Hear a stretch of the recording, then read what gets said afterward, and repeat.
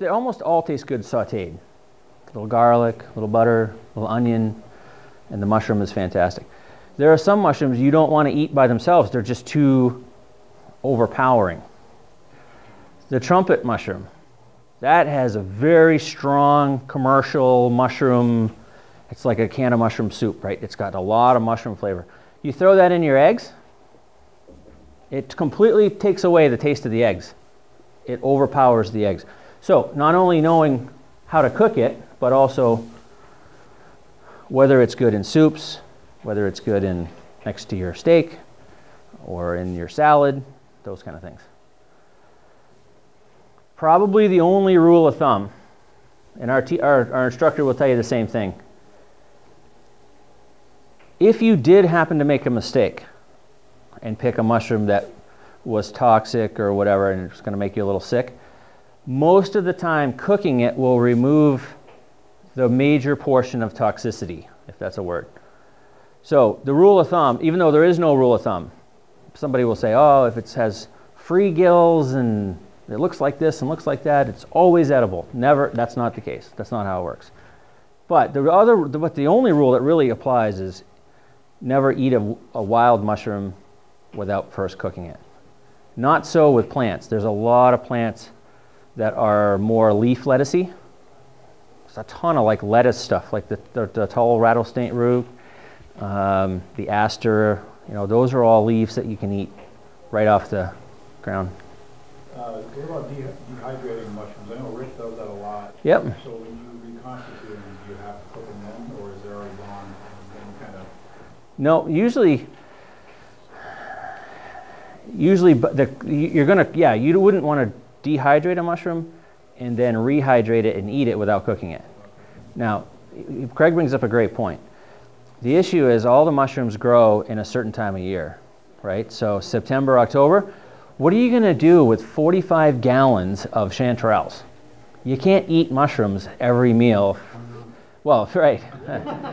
Try it and you'll tell me. so after a while, you're like, wow, but these mushrooms will go bad. So if you leave them in the fridge, we cook them and then vacuum seal them. So we boil them up, vacuum seal them, you know, drain the water off, vacuum seal them, put them in the freezer, pull them back out, put the butter in, uh, saute them up, throw them in the soup, and there you go. It's pretty cool when you look at your freezer and you're, okay, so I got ducks, goose, bear, moose, elk, deer, and then all my mushrooms, chanterelles, mushrooms, right? And you just start mixing and matching. Very, very cool. So learning how to either cook them and then freeze them or dehydrate them. Uh, you know, there, there's little tricks to each one. The black trumpet, if you dehydrate it, it turns into paper and gone, right?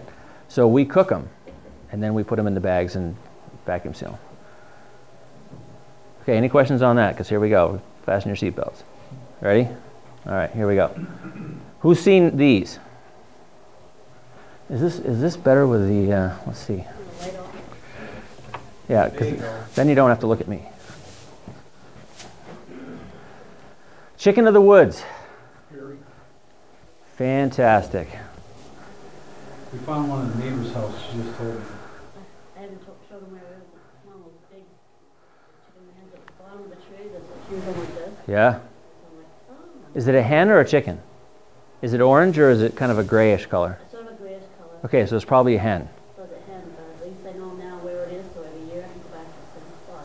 Nice. They grow in the same spot, just about. Sometimes, yeah, it's it's it's really strange how a mushroom will grow on a tree one year, and even though you're not taking the the spore itself, you're just taking the fruit. Sometimes it will come back, and sometimes it won't. Like for instance, this one here, this was a 30 pound chicken of the woods. It was this big. When I cut that off, this is on the way up to uh, Monadnock, the, the hiking trails. When I cut that off, carrying it back to the truck, the water coming out of this mushroom was running off of my elbows. We cut the outer edges, which you'll find are the most tender, and we cooked that thing up, froze it, deep fried it. Oh, it's unbelievable. Who knew that a mushroom could taste exactly like chicken? It's crazy. The texture, it's kind of stringy like chicken. So we make like chicken of the woods fries, right? You put them in the little, and you saute them up, and, and they're like this long because we, we cut the ends off, right? And now we do find that, as a side note, like this one is very young. See how bright that is? Like this is maybe a day, day and a half old. And then in a few days, it's going to get more like this, where it gets kind of bleached out. A few more bugs and other things crawling in. So this one was edible, like this whole section was choice edible. This one here, only the outside rim, this little white section here is edible. This one here was almost gone by, so we just ate the tips and threw the rest of it away. This one's on an old dead cherry tree up in Boscawen where we bear hunt. And I was going in with a class one day, and that sticks out, right? Fluorescent orange, middle of the woods. It's like. So I cut a bunch off. I gave it to all the students. I'm like, this is a choice edible, no poisonous lookalikes. Go for it. And boy, they came back and said it was fantastic. So, chicken of the woods, very easily recognized. Definitely grows on old hardwoods. Very, very common all throughout New Hampshire. Bear's tooth or lion's mane we found this one in class. It was on an old beech nut tree that had snapped off and fallen, and it was growing right out the side. The only tough part about these, and this is a this is one of the best eating mushrooms, cleaning them. Inside all these little, this one's a little bit gone by. See how it's kind of tan looking? See how bright white this one is? This one's probably a day old. This one's about a day and a half old. This one's probably four days old. But every little piece of dust and bark and everything else gets down into this thing, and it's a real kind of a real pain to clean. However, it's worth it. You slice it fairly thin, and you you know just clean a piece that's about the size of your hand, and then saute it. It's fantastic. All these pictures are taken during our classes. This is a comb tooth, so it's very similar to this one. Again, choice edible, no poisonous lookalikes, grows on the side of a hardwood. See, see the, this is the old stuff, and then the new stuff started sprouting up. You can even see some pine needles and some other stuff in there. This was actually underneath a log that had split and fallen down, so there's a gap in the log, and I just happened to look it down the log, and I could see this white thing down in the hole depending on the time of year, the, whatever the moisture content is just right, the, out they come. So I got my venison steak, thanks to my sons, a little olive oil, drop it in the fry pan. It's crazy good. One of my favorites, oyster mushrooms. You said those a lot on? Only on sugar maples. Really? Only on sugar maples. If you find an oyster mushroom and it's not on a sugar maple, it's not an oyster mushroom. You get them when they're this, this these are different times of years, uh, different times of the year. So this is a late fall oyster. See how brown, it's like a toasted marshmallow look? See how white this is? So September-ish, you have this, October-ish, you get into this kind of thing. And then these are called fall or winter oysters, and they actually have a green look to them. So any of those oysters that you see there, would you eat the whole thing or just? Nope, the whole thing. Absolutely, yeah. So here's how I was introduced to oyster mushrooms. My, so my friend George, I talk about him, he'll be here tonight. He says, oh, he goes, I'm going to leave you something on your porch when you get home from work. I'm like, well, what is it? He goes, not telling you, just going to leave it on the porch. I show up and there's a tinfoil, a sandwich in tinfoil, and it's hot, it's still warm. So I pull it out, and there's, a, there's an oyster mushroom about yay big, sliced the shape of the hoagie roll, and there's maybe two or three of them, and they're all like quick fried, and they're inside this with a little bit of onion and some salt and garlic, whatever. Oh, man, I was like, oh. and it, the bread was perfect. You, you, till you try it, you won't know what I'm talking about. But an oyster mushroom, it's like a steak sandwich. It is, it is that good. Now, whenever you see an oyster, you know, now you're, you're carrying buckets. People are like, he's going deer hunting, he's carrying three five gallon buckets. So, but so this is the other way, right? We cut them up in small, like slivers, like french fries. cut them off here, cut them lengthwise down the gills, drop them in the fry pan. This one, again, sugar maple. I was in a hurry and couldn't pick those. I was devastated. I was running out. We were, we, where we bear hunt, it's in September, and that's when all the mushrooms are huge. So I see all these mushrooms, but I, I mean, I've got truckloads of mushrooms. What do I do? So I'm driving. Well, I call a friend of mine and I, I Google, I snap Google him, whatever that is, Snap Face or Face Snap ch- ch- Chat Face, whatever that is, and I send it over to him. And I, so he knows right where it is. Yeah, he went up there and he came to work the next day with a five gallon bucket of those fall oysters. Delicious. So here they are up close. So, so I'm in a deer stand. This is out at the end of Flag Road. And I'm, uh, I'm fixated on this mushroom. Right, I'm supposed to be deer hunting.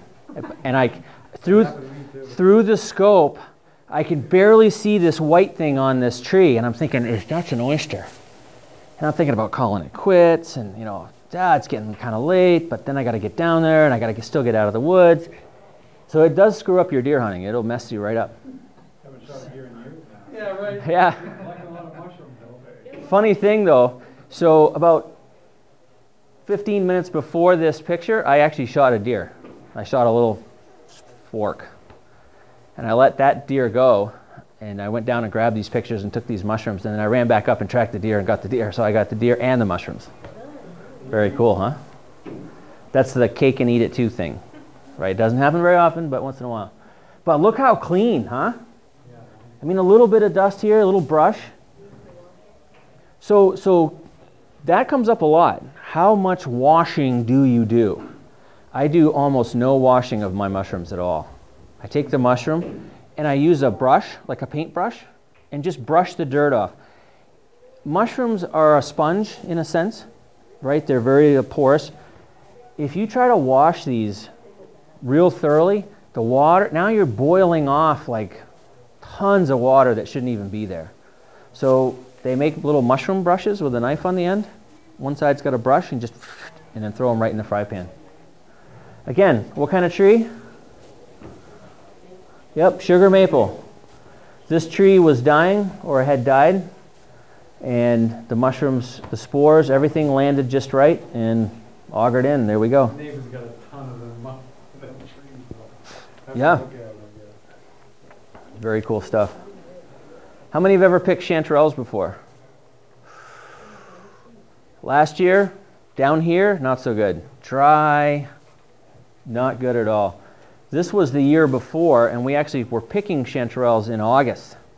It was one of those deals where it rained every night. It's the perfect, it was like the Garden of Eden, right? It was like raining at night, sunny in the day, rain at night, sunny in the day. It was fantastic. So, chanterelle mushrooms, kind of a funnel shaped deal. Put them in the colander. Anybody know what those are? Black trumpets. Yeah. Black trumpets. You put the two of those together, you won't eat at a restaurant ever again. Is there any poisonous lookalikes? No. No. pump- There is a false chanterelle. Yes, but that's but other than the fact that they're yellow, it's the only commonality. Chanterelles always grow in ones and twos. Jack o' lanterns always grow in clusters, like bunches of them. That is the one that folks will call out that they think kind of looks alike. But if you if you ever picked a chanterelle and then you you see the jack o' lantern, you'll know it's just not even the same. The only thing they have in common is they're yellow. So this is the trumpet chanterelle. See the different color? Same deal. Also highly highly edible. And this is what they look like when you cook them up. Just delicious. I know, right? One of my favorites lobster mushrooms. So I read about these because I'd seen them in the woods quite a bit. And I went out and I found some and I picked them, put them in the bag. On the way home, my son takes the bag and he goes, Smell this. It absolutely smells like you have lobster in the bag. It smells like seafood. If you closed your eyes and I didn't tell you the difference, you would swear that I had shellfish in the bottom of that bag. how does that happen? Like, how do we get a mushroom that tastes like chicken, that tastes like lobster? You, you, you cook this in butter, because everything's better with butter, right? Cook this in butter, it tastes like you're eating lobster. Crazy stuff. I don't know what it gets out of the ground that creates a shellfish smell and taste, but it does. It's fantastic. Those those mushrooms, do you find them in where, like a hemlock and hardwood? Yep. Soft, soft and hardwood? Yep, in a transition area. So big oaks and beechnut and maples mixed in with hemlocks, but always, well, I won't say always, 99% of the time on a trail. Like these, this is a well worn trail right here. And they're hard to find because they, they grow underneath the leaves. You'll look down and you'll see a little hump of leaves like that. And when you kick the leaf off, that's sitting there looking at you. Very, very cool. Scott, that top left picture, He- the needle, or sorry, top right. Yep. Um, it- so is it growing like horizontally, like towards the screen on the bottom there? Yep, it grows all kind of ways. This one's growing up like this. This one's kind of laying on its side. This one's growing off to the side. Look at the difference though. See how this is a young one and these are a couple days old. See how the bugs start to take the tops off? Yep. See how there's bugs? Yeah, see these two little bug holes right here? Yeah, don't don't be freaked out by a few bugs. Well, no. My point is you can cut them out. I mean, you can cook them. That's fine too. They're a little crunchy, right? But people will look at a mushroom and they'll say, "Oh, that's gone by," particularly the trumpet. If you have black trumpets, we'll get to those in it. But if you find black trumpets, Don't tell them, don't touch them. don't tell you. Call me, No, don't tell you. and I'll take. Because you'll come and get them. I told that to one of the guys I work with. He goes, I think I have those down behind the house. I'm like, don't go near them. Yeah, they're, they're. I'll come out and take them off your hands. I call them the black trumpets of death. It's number two in the choice edible. So morel being one, black trumpet being number two. So lobster mushrooms, no poisonous look-alike, smells like shellfish, grows in trails, hardwood softwood transitions, very easily identified. A little bit tricky to clean, right? You know, you want to cut some of this stuff off, cut a little bit of the old stuff, but when they're white, white, white like this in the middle, it's a fantastic specimen. What's the issue with all these funnel-shaped mushrooms? What do we have to deal with? Bugs and dirt. Yeah, everything lands in the funnel, right? So it rains and the dust and the, all this. So inside this funnel in here, you got to take a spoon and kind of scrape it and get all that gravel and dirt and stuff out of there. Ah. There's the favorite stuff quicker than at the house stuff. So, who here drinks chaga tea? Yeah, it's unbelievable. So, a damaged birch tree, only on a birch tree. Black birch, white birch, gray birch. No, not gray birch so much, but gold birch. This is a, a fungus, and it has now become the rave. It's somewhere between 13 and 22 dollars a pound. The White Mountain, where all the birch trees up there, it's become the thing. Chaga hunting. If you see a guy with a machete, run. No. But he's probably out looking for chaga. They- You know, guys are climbing trees to pull this stuff down because they can make two, three hundred dollars a day finding chaga. So I was a little skeptical. You know, eh, you know, the whole herbal, you know, medicinal, right? Wow, this stuff is fantastic the tea it's it's like regular tea you throw a little honey in it it gives you it really kind of it's not an energy drink right? It's not like red bull or monster or whatever. But you can definitely notice a difference after you drink. It's not caffeine either. It's there's something else in it that really it's just wow. You just got a little bit of a zip you know? It's and there's no like drop off from like these energy drinks. So the doctors of course traditional medicine versus so they're like no no no no. Nope you know take xanax whatever it is for your prozac whatever so somebody finally decided they were going to call the bluff that this wasn't as good as what everybody says because people were people had you know arthritis and some other things and it seemed to be relieving some of their symptoms. Okay. So they broke it down chemically, ground it all up, got a chemist, broke the whole thing down. There are more antioxidants in a piece of chaga, the size of a half dollar. They were un, it was they were blown away. The concentrations of antioxidants in a, in a piece of chaga that gets boiled into tea, it was unbelievable. Which was boosting immunities, which was doing another thing. No one's going to go out on a limb and say, "Oh, it'll cure anything," because it doesn't. But it does help with certain things. People with Lyme's disease have come back and said, "I drink chaga every day now, and I'm noticing a difference in, you know, I'm not quite as tired as I used to be, you know, those sorts of things. One of my favorites, cauliflower mushroom. Looks like a brain, right? This, this we, we lease a big piece of property in Loudon, and this was out at the end of the property. There was a, on, just on the other side of this was an oak stump that got cut a bunch of years ago. Oh, well, actually, it's right here. And so, uh, again, what's the issue with this? Cleaning. Cleaning, it's a pain in the neck. It's worth it though. Like, look at all the little crevices and stuff in here, that all the little dirt and stuff. Yeah, well, yeah. So you cut it small enough and then you run it through, you know. The good news is this mushroom doesn't collect a bunch of water. So it doesn't saturate, right? You can hit it with a, ho- with a sprayer, pretty high, high tech, and push the dirt and the bugs and everything out and end up with this. And then you saute that. This has like a, like a nutty flavor to it. It's like, it's like a hint of hazelnut, walnut kind of, it's really interesting and it's delicious. It's fantastic. Again, choice edible, number six or seven, and no poisonous lookalike.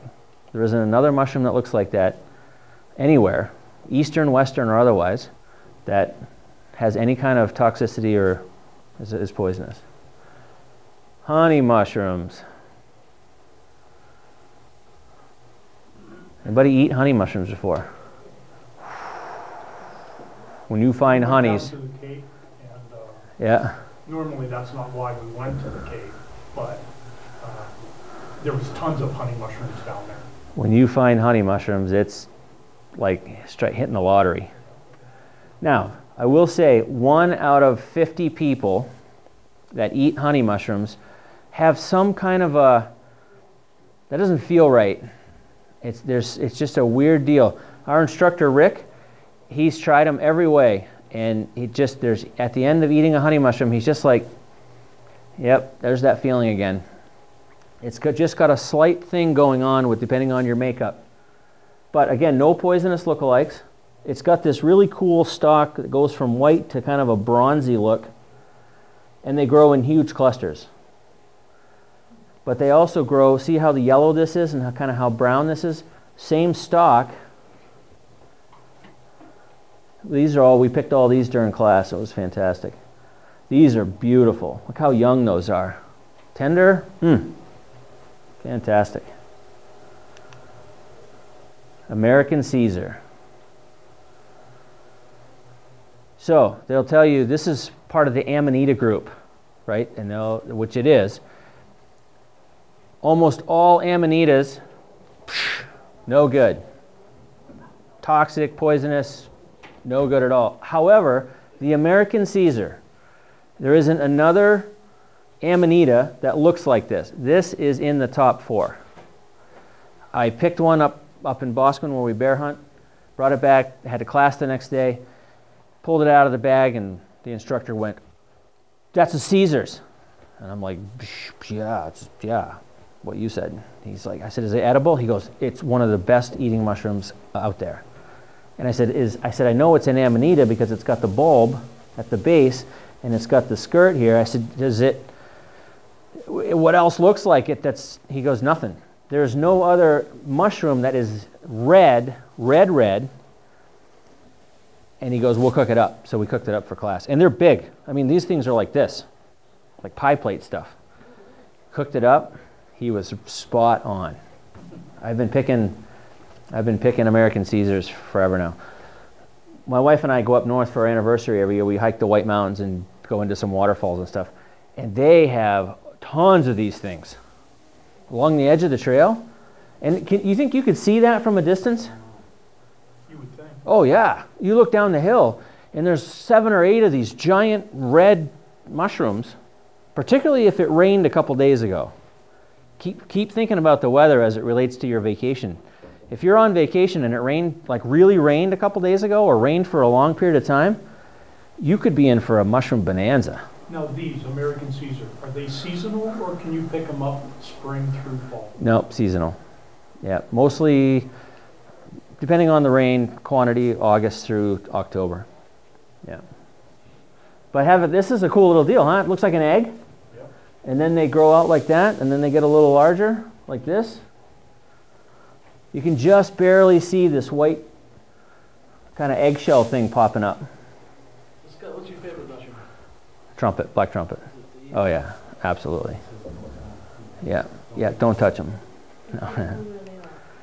Okay, hen of the woods. Base of hardwoods, mostly oaks. Ever you, you notice trees don't grow straight up. You ever notice that? They grow they grow always like this way or a little bit that way. What happens is the water, I always wondered why the mushrooms always grow at the base of a tree in a certain spot. The water hits the bark, runs down the bark, and puddles in between the roots at the bottom, which is where the spores land, which is where your chickens and a bunch of other stuff grow, right in that little V section of root. We have an oak tree in Loudon that fell all the way down. It broke off and fell down. All the water runs down the, bark to the base of the tree and puddles at the bottom. These big heavy storms, these lightning storms. And this grows there almost every year. Fantastic. Yeah, we don't talk about that one. Or that one. No, just kidding. Okay, so black trumpets. These things are really hard to see. Like, can you see them all in here? You can now because you're focused on it. If I were to take you in the woods and stand you in the middle of this, it would take you a second to focus. It's their, the color is so closely tied to the leafy matter that they are really hard to see. But once you see it, you can't unsee it. It's like you see them everywhere. I stood right in the middle and I said, So, anybody see the choice edible mushrooms? And they're all like, I'm like, Okay, look straight down. Oh, and then, oh, oh, oh, oh, oh, oh, oh, oh right? It's pretty cool stuff, very camouflaged. This in rice, in with your steak. I eat, I can eat a whole plateful. just just the mushroom itself. It's fantastic. It's a very strong mushroom taste very commercial taste. This is one that they grind up into powder. They dehydrate them, grind them up into powder, and use them for seasonings and soups and stuff. Very, very tasty. Any, any lookalikes? Nope, nope, no poisonous lookalikes. So this is the separate, so here we go, chanterelles, right, on the left. And then still in that transition, hemlocks, oaks, beech hemlock, right, where the, it's kind of a cross between dark and light. A lot of wildlife like those little transition areas as well. But there's tons and tons of mushrooms. Puffballs. Yeah, yeah, huge puffballs. How do I know if a puffball is poisonous? Because there are pigskin puffballs and other poisonous puffballs. Yeah, you just cut them open. If they're white, like a potato chip, it's edible. If it's yellow, it was edible, but you waited too long. If it's black, yeah, run for the hills. It's no good. But there's different types. There's the giant puffball, right? Like these, had we let them go, would have grown to be giant. Gem studded puffballs, and then the pear shaped puffballs. A lot of times growing on old logs. You'll see thousands of puffballs all the way down, little ones like about like that. These do. Yeah, yeah. They're little studded, still growing along. So underneath that should be some kind of a branch or a dead tree of some kind just below the surface. So these are good, right? I've heard a guy, he said, I baste them in butter and put them in the toaster. Like a piece of toast. Put them on high cook and away you go. It doesn't take much to cook them. Very, very good. Okay, morels. Uh, This year was the year for me to really get into how to cook the inky caps. The issue with these is their shelf life is like five hours. You cut them, you take them home. If you don't cook them, they turn into mush. So you kind of got to cut them on the way out, go home, and put them right in the pan. The only caveat with this mushroom, and, and there's a couple others, is is if you drink alcohol with that mushroom, you'll get sicker than sick. Which I don't drink, so it doesn't bother me. But uh, that, that's something that you should know. The inky cap is a very, the enzymes in the alcohol and the mushroom react, and you will get just, it won't kill you, but you will be really, really sick. So there are a handful of mushrooms that when you go looking into edibility, they'll actually caveat it by saying choice edible, best cooked a certain way, never to be fused with, you know, eaten with alcohol or whatever. Old Man of the Woods. So this one wins the Ugly Award, right? You believe that is a very, very tasty mushroom? Yep, it is. Ever seen ones? Oh yeah, oh I've eaten them. Where, where do they use it? Same, same thing. More into the softwoods than up in the hardwoods, but definitely along that edge. So morels, there's your spring mushroom. One of my all-time favorites is an aborted entoloma. So, funny thing about that mushroom, that is a parasitic mushroom. That mushroom is actually a mushroom that preys on poisonous mushrooms. And it is one of the best tasting mushrooms. This actually has like a, almost a sweet, sugary taste to it. It grows like a red russula, for instance. If you try to eat a red russula, first of all, it's super peppery. That's this one. Okay, very, very peppery. In fact, the Russians eat it and they cut it up and drop it in their soups for, you know, for tasty side stuff. This mushroom actually attacks this mushroom before it ever breaks through the ground and kills it and grows the mushroom on top of the mushroom. And this mushroom, if you ate it, if I had a bucket of them in here, you would be like, I am going to spend the rest of my life finding that mushroom. It is a fantastic mushroom. So, brick caps, anybody eat brick caps? Nope. Super tasty again. Okay, let's talk about some plants. We've got a few minutes here. Who thought, who would have thought common milkweed in your backyard could be a choice edible plant? It is phenomenal. No, see it? That's a that's a old wives' tale. Yep. A lot of people are like, "Oh, milkweed's poisonous." It's almost like an okra. Yes, it is. So, this was on my bucket list about five years ago. I, I had heard about it, you know, I read about the survival books and all that stuff, and people were like, yeah, yeah, you got to try it. You take a young pod like this and you saute, you cut it up like okra, and you ra- roll it in flour, whatever, and, and you saute it. Crazy good. Crazy good. So, two years ago, I went and picked a bunch of these flowers before they bloomed. And I cooked them up. My family's gone. I thought, you know, I got to try it.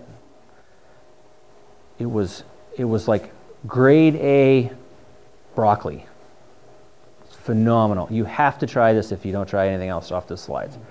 Go get your milkweed. Young milkweed pods, right? Yep, young milkweed pods before they do the whole feathery thing, right? Before they start getting that whole, because inside they're all choice, you know, easy to cut up and, and saute. By far, this is my favorite. So my mom and dad came over.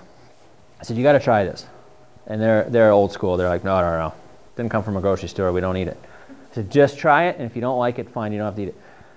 So I put the butter and the salt and pepper, and I boiled them up they cleaned me out. They, they were like, whoa, give me some more of that. What is it? And I said, just, I'll tell you after you're done. So- it's, so it's milkweed. But it's in all of our yards. The state's full of it. It's crazy.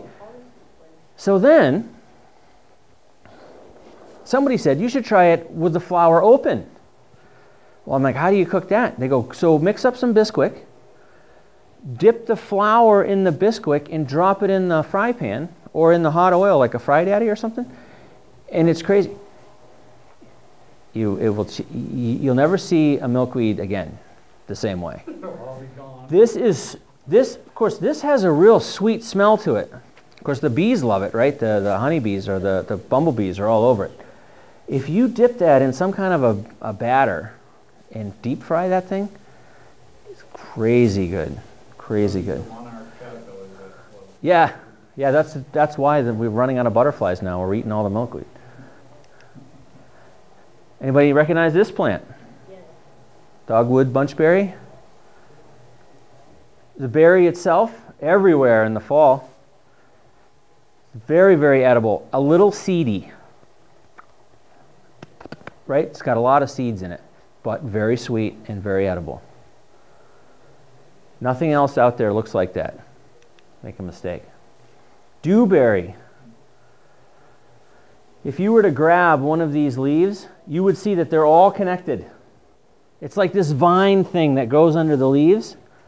In class, somebody, he's, the instructor said, grab one of those and pull it. And it was like pulling the string on a guy's sweater, right? Just, it just goes and goes and goes, and they're all connected. Looks like a little bit of a blackberry or a black raspberry, but grows right on the ground. Very, very tasty.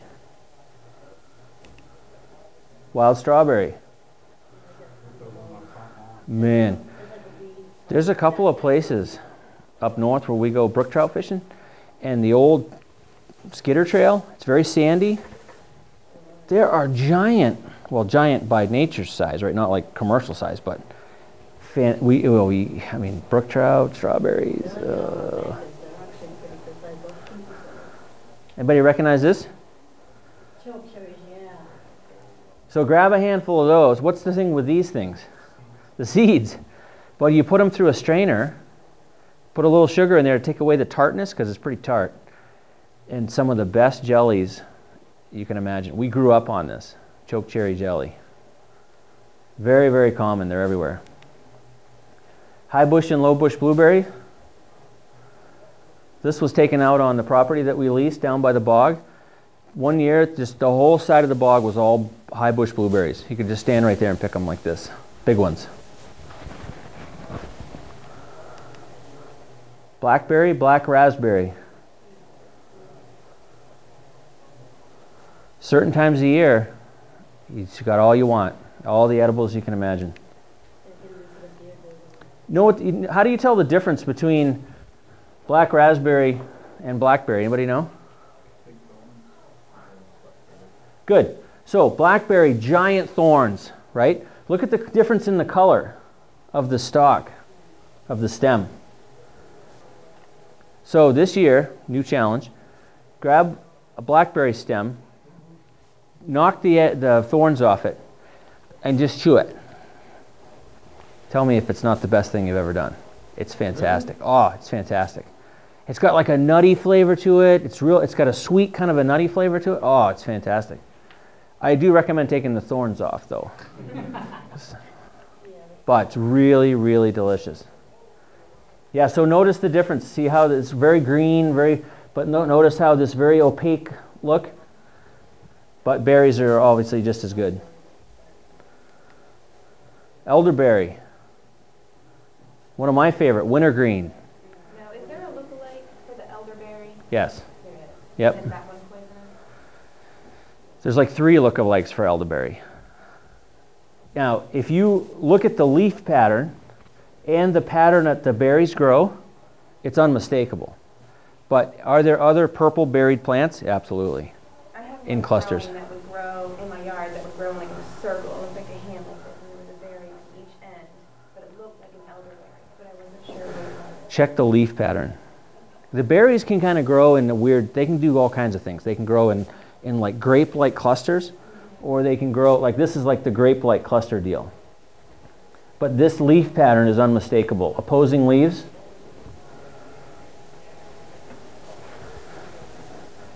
Good stuff. Make teas out of this. Anybody grab a? Uh, we do this in our class because just just for fun. Yeah, you, you you take it and you tear it and then you hand it around and people are like, really? Oh, oh, that smells like lifesavers. It's it's wintergreen. That's what it is. It's delicious. And then these berries come out late in the fall and If, if you can get a whole handful of them and eat them, it's delicious. Do the deer like the elderberry? Yeah. Yeah, the deer, raspberries, blackberries, they'll eat almost any of that stuff. What's that? They eat all the berries. Yeah, they'll eat them all. Yep. Here's an overlooked one. Nope, dandelion. Oh, oh I thought. oh, Yep, straight. That's dandelion root. Okay.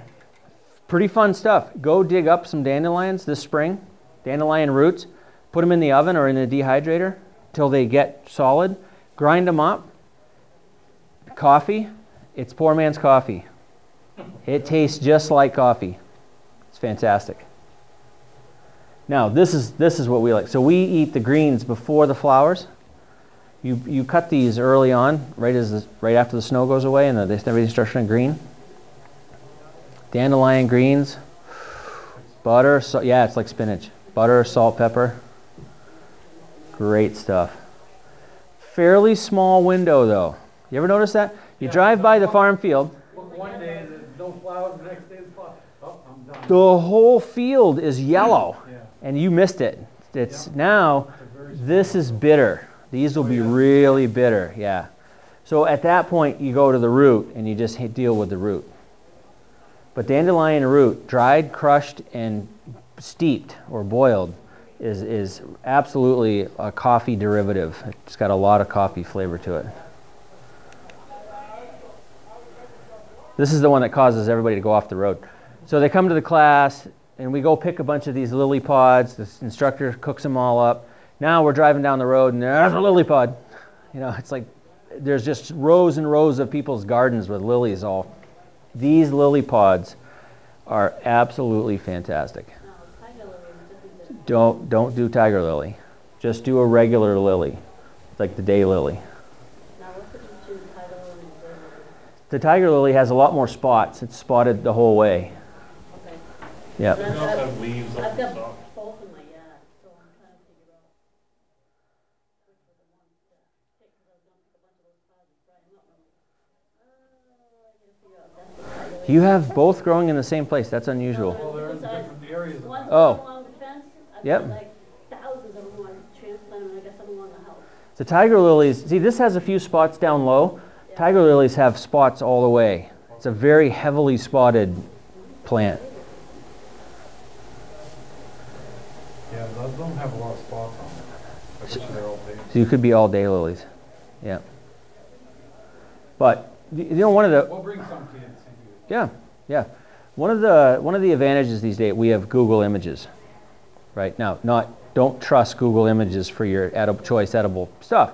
However, if you type in tiger lily and you type in daylily, you'll very quickly through looking at dozens and dozens and dozens of photos start to see what the differences really are. Elderberry is the same way. If you type in elderberry and then type in, you know, one of the other purple berry type plants, instantly you, oh, well, this one has a leaf pattern like this, and it grows yay high, and the other one grows yay high, and you know, so you start to see the differences. Use as many, probably if I were to give you one piece of advice, use as many sources as are readily available to you. In other words, if you have a, if you have a book, that's not enough, right? If you have two books, that's better. If you have two books plus the internet, that's even better because you want to see these things from every angle top, bottom, cut the stem.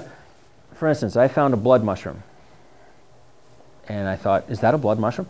So I went through the whole gamut of, you know, if it turns red when you cut it, if it does this when you do it, when you cook it, does it change color? At the end of the day, I still was kind of like, ah. So I emailed it to my instructor, and he popped it back and said, definitely a blood mushroom, one of the top 20 choice edibles. Good for you for finding it. And I've been eating blood mushrooms now for two years. Okay, cattails. We, we grabbed these in class. Sorry to interrupt you, but did you have a picture of a blood mushroom earlier? No, no. What's cool about a blood mushroom, though, when you find one, when you cut it and turn the stalk over, it's pure white. In about 10 minutes, it's blood red. The whole thing is blood red. Has anybody heard of a beefsteak polypore? Yeah. So a beefsteak polypore, it bleeds like a steak. You cook it, you kick a beefsteak and you throw it in, and as you cook it, it looks like it's bleeding like a steak, and it tastes like beef. And there's no poisonous lookalikes. Now, they're not that common here. I mean, if you find one, that's great, but at least where we mushroom hunt, I, I've only found maybe a half a dozen beefsteak polypores. But they do. When you, you, you read the book, you go, oh, it bleeds when you cook it. Next thing you know, you're cooking it, and it's like, it looks like a steak. Fantastic. Huh? Fiddlehead. Fiddleheads. There you go. Not common in this part of New Hampshire, but north, like up in the Connecticut River Valley, great, great eating. Only in the spring and kind of a narrow window. You show up and they're still in the ground, and then you show up a week later and they're ferns this high. And they're not edible. Yeah, yeah. What is, is there something else that looks like those? Yeah. Yes. There's a ton of other ferns, sensitive, American, bracken, all these ferns, but there's one distinguishing difference. Do you see this channel? Yep, There's a channel. looks like celery. Yep. The other ones don't have that. And if they do, it's not pronounced. This has an absolute celery. Seen some of those on a road next to our house. Yep, yep. So we just wanted to a bracken fern. The- It, South Korea, I didn't know this until I started looking at it. South Korea has a huge stomach cancer issue. Who knew? A lot of it comes from the fact that they eat bracken fern. I'm in the Aziscohos area, Rangeley area, and there's an Oriental lady next to the road, and she is picking just as fast as she can, filling her buckets. And I stopped and I asked her, I said, What are you picking? And I really didn't understand what she was saying. What she was saying, bracken fern. Well, I asked my instructor, I said, Can you eat bracken ferns? He goes, If you don't cook it just right, like blanch it and this and this and this, there's enough cyanide, I think, or chemical, there's some kind of a deal in that that takes out your stomach lining. And so, but it's, they eat it in such large quantities that that's what does it. He goes, You eat it once, eh, it's- He goes, We just stay away from it. When there's fiddleheads around, why would you bother with bracken or any of the other ferns? So just look for this really deep celery type channel. Get them when they're tight. We did these on the grill. There's a brook trout under there somewhere. And we did these in the saucepan. And it, I don't know, I don't even know how to describe it. It's fantastic. All right, some of the other edibles that are in your yard wood sorrel, red clover. You can eat this flower right off the plant. Yep, it's very sweet. Anybody know what ha- what this is about? What these These are up around the flower to start. This is a very cool thing. When a bumblebee comes along and pulls the nectar out of here, it opens up and actually gives the next bee a place to land and pull Oh, really? how cool is that?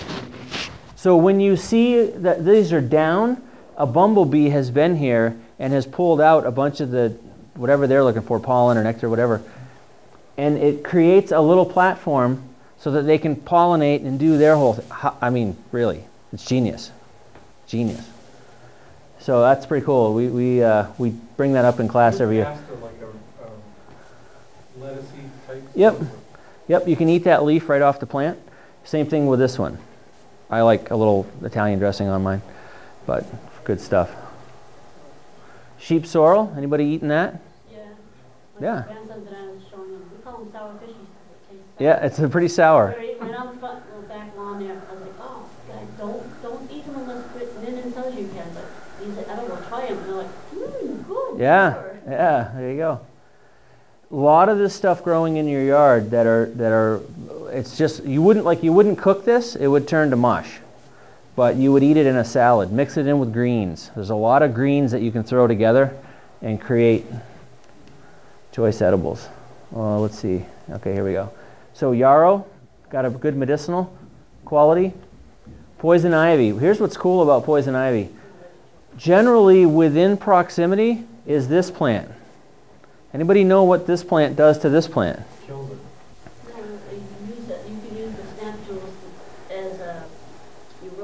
Yep, it neutralizes the effects of poison ivy. So you go down this old logging road and you look and the whole, it's covered. Poison ivy. You look over here, it's all jewelweed which is, this is that snap, what do they call that? Snap. Yeah, snapdragon. You got the little seeds, when you pinch them, they kind of explode. If you grab this and mush it all up, or even if you boil it, like with just a little bit of water, it turns into kind of a balmy, savvy stuff, and you put that on fairly soon after you've been in contact with poison ivy, it'll absolutely neutralize it. Beaked hazelnut. Anybody seen those? Down by the bog. I didn't think it was that. Yep, you pull this apart and you get the nut in the middle and you cut the nut in half and pull it out of the out of the shell. It's it is like the hazelnut coffee you drink. It's fantastic. Arrowroot, uh, one of our favorites is Indian cucumber. See this little thing here? But there is a poisonous that looks like that, right? This? Isn't there one that kind of looks almost like that star thing that There's a Poisonous? flower that looks like it. It's not poisonous though. It doesn't have this though. I don't believe. This is the Indian cucumber is delicious. Right, the Indian cucumber has the root, but the other one doesn't have the root. It looks almost like it. This one will be stacked.